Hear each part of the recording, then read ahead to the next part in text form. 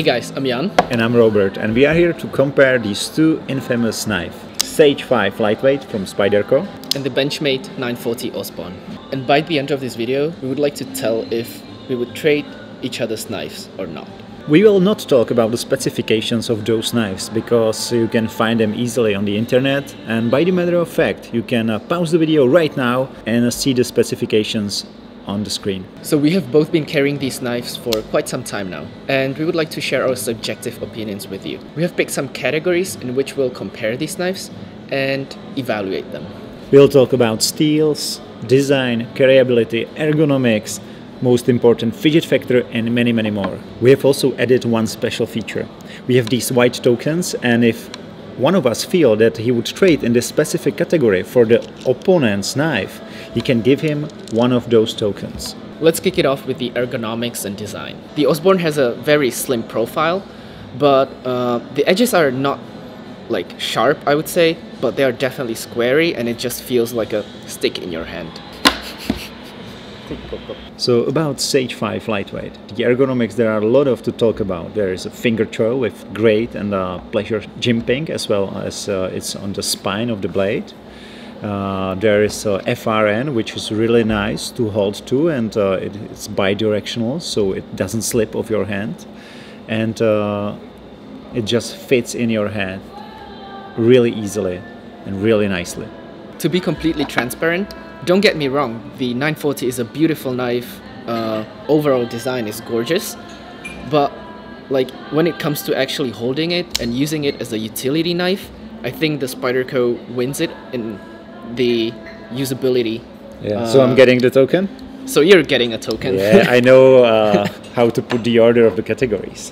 One token for the Sage 5. I also forget to mention those uh, small design shapes which uh, totally make sense when it's closed and also when it's open. So let's check the lock and fidget factor. Compression lock is great. It's uh, stronger than a liner lock and it's on the back so you have uh, your uh, fingers safe when closing or opening the knife which is really important to me. And also you can uh, open it with more ways. For example, Spidey flick, thumb flick and also the lock flick like this and it's very pleasure feeling to open the knife and to close it.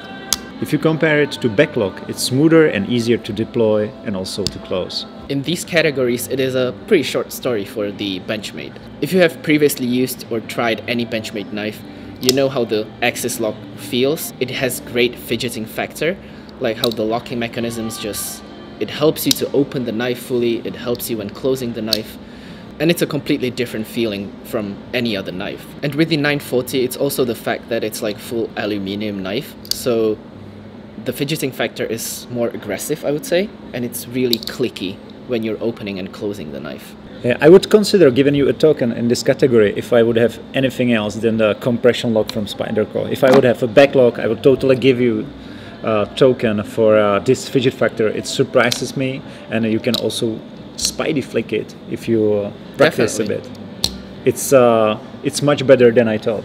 Yeah, definitely. Like when it comes to opening and closing, there's also there's also multiple ways to do it. You, I actually use my thumb to do it uh, mainly, but I've seen people who are just sitting at a table playing with a knife by holding the lock open and basically just closing and opening it. Yeah. yeah. And there's also the spidey flick, which I can't really do. But yeah, yeah.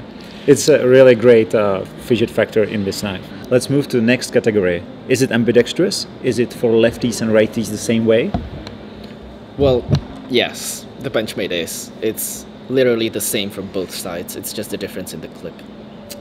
In uh, my case, it will be a bit more complicated. You can operate the compression lock with left hand, but it's more risky because uh, you have to lay the knife on your palm so it you doesn't drop it because if you close it with the left hand you just you are just pinching it with two fingers and uh, uh, you are risking of dropping the knife which you don't want yeah. to sure so you can do it but uh, it's a bit more risky and uh, I would consider clo of closing it a different way for example like this when it comes to the blade shape deadly simple here. Reverse tanto, also known for Benchmade pretty well.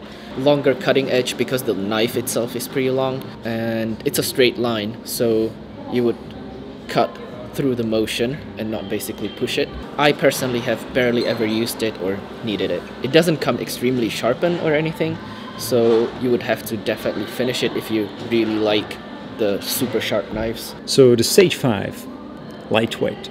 It's a drop point, leaf shape, really famous uh, Spyderco shape, uh, similar to Manix, Chaparral, Lil Native, Native 5, and uh, many really famous knife.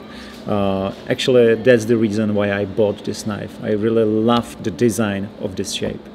Just uh, the aesthetics are great. The sharpness from the factory of Taichung, Taiwan, was uh, shaving and still is after some use is still shaving hair. So it's uh, the most sharp knife I've got from the factory. Yeah, I mean, that's pretty impressive. And when it comes to steels, I believe that they share the same steel. Yeah, S30V. Yeah, which should be great for the everyday carry stuff. We tried to research if there are some uh, differences uh, between S30V from Spyderco and S30V from uh, Benchmade, for example, due to heat treatment.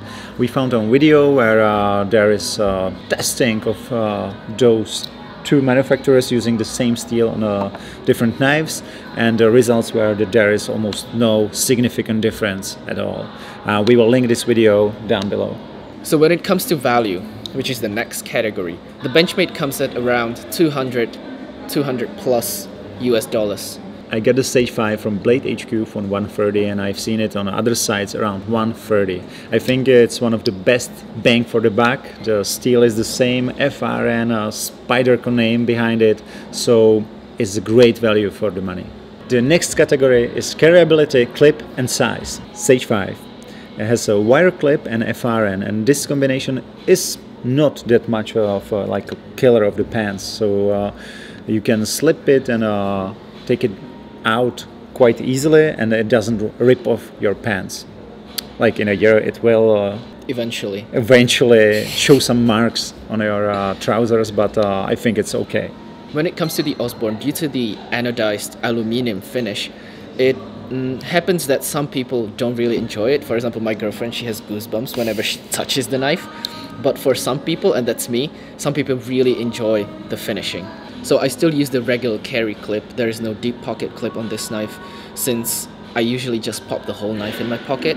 So yeah, I don't really care about the clip that much. Yeah, I tried it with the clip and uh, the pressure of the clip is uh, maybe too high for me and it's definitely bigger pressure than in, with a Sage 5 so I prefer this one Definitely. This one. I have the same clip on my Griptilian Mini and I've used the clip previously on my on my pants that I had before and it completely destroyed the pocket in like two to three months. Let's go to the final part of our video, which is overall thoughts. Let's start with Sage 5 Lightweight from Spyderco. I think it's a great deal. It has compression lock, FRN, S30V, great blade shape, uh, the ergonomics are great. It's easy to compare it with Para 3 lightweight, a really famous and probably the most famous and uh, the best seller from Spyderco right now. And I think that this one beats Para 3 in uh, EDC category. Okay. For me, it's the better. That's why I picked this one and not the Para 3. Yeah, Mostly because of the design, but also uh, it has the liners, the skeletonized mm-hmm. uh, liners. Uh, the shape is better, and also the FRN is more grippy than the Para 3 yeah. lightweight. It like to me, it definitely feels more sturdy and more tactile. Like the overall quality, even like the locking mechanism, it's so smooth. It's amazing. For me, it's the best EDC from Spyderco right now and best bang for buck. I just hope we will see in more variation than uh, just the two we have right now. I just hope we will see more colors, different steels, some sprint rounds and so on because this knife definitely deserves it. The Benchmade Osborne definitely sets the standards for EDC knives as such. It's not that great of a value to be fair. It's on the pricier side, at least for me. For me too. And on the flip side, it has the axis lock, which is amazing. The overall design and aesthetics, absolutely stunning. The finishing, the green, I love the green finish on this one. Uh, there's also more variations of this knife. You could also customize it on the Benchmade website, I believe, if it's still available. And there's also the mini version right now. And so if the size of the regular Osborne is too big for you, you can go for the mini, which still does the job pretty well. It looks stunning. It's the same design. Everything stays the same. It's just a more basically smaller knife. It is without a doubt super popular knife in the community and whenever you talk to anybody from the EDC community, everyone knows what an Yeah. Osborne actually is. Exactly. So let's go to the final question. Would you trade it for this one? Or would I trade the Spyderco Sage Wi Lightweight for uh, the Osborne 940? I wouldn't trade the knife necessarily. I'm actually considering of buying one for myself, uh, but I would not trade it. The Osborne is just an icon. I love the green combination, even with the purple scales, and with the black steel. But I love the ergonomics of the Spyderco. It looks incredible. I love how you mentioned that the lines always match, which is insane. Like I haven't noticed it on first use, and it's like an engineering masterpiece to me. Uh, I would trade it for the value because this is a more expensive knife, but uh, probably not for everyday use. Uh, for me, it's also a bit pricey, and I would be maybe afraid to use it that much.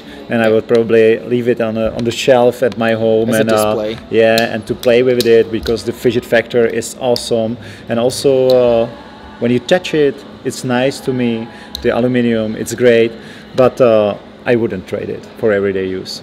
If we don't consider the price, uh, this one is my choice. So thank you very much uh, for watching us uh, comparing these two beautiful knives, and uh, hope to see you sometimes in the future.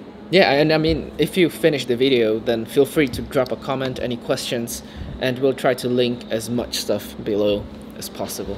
Thank you again very much, and see you soon.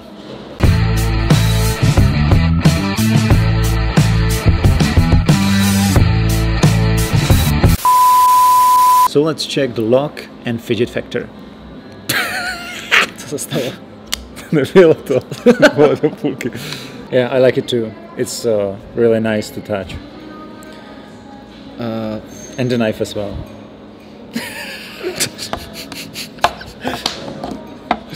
Ne, to máme, ne?